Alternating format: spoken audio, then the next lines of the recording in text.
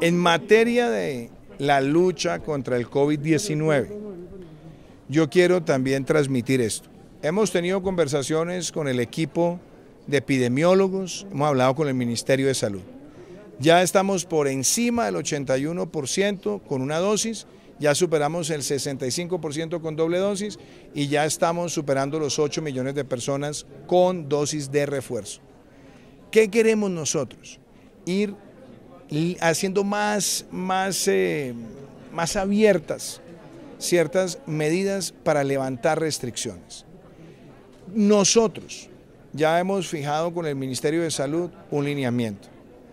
Aquellos municipios cuya vacunación, cuya vacunación supere el 70%, podrán ya levantar el uso del tapabocas en espacios públicos, en aquellos lugares donde la vacunación esté por encima del 70%.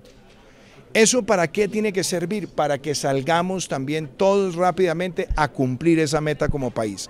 Nos falta poco para llegar a ese 70% como país, estamos en el 65%, ya hay ciudades que superaron inclusive el 70%.